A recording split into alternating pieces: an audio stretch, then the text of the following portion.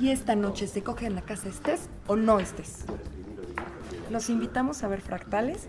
Vamos a estar en temporada en el Centro Cultural Helénico a partir del 3 de mayo al 8 de junio. Por favor, no falten, 8.30 pm. Gracias. antes de bajar del carro. Sí, dijo con otro movimiento de cabeza.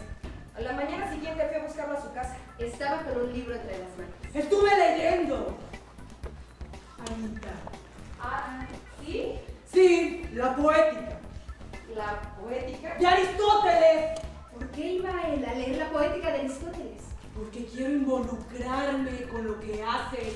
Algo no me cuadraba. Se acomodó los lentes. Y después de una breve pausa continuó. Es curioso lo que dice.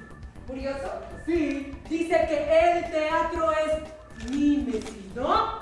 Sí. Es decir, la recreación de una presencia. Decía. Es decir, que un árbol en escena, por ejemplo, no es un árbol, ¿me sigues? Sí. Es la recreación de la presencia de un árbol, pero no es el árbol, porque las cosas no son las cosas.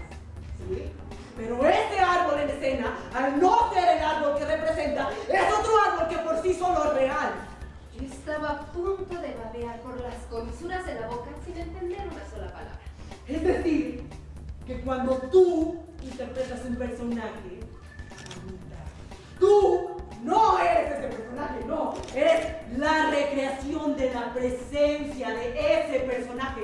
Pero tú, en escena, al no ser ese personaje, eres tú misma. Es decir, que cuando besas a alguien en escena, Anita, estás siendo una maldita golfa. ¿Yo? Contradice a Aristóteles, golfa. Era difícil contradecir a Aristóteles.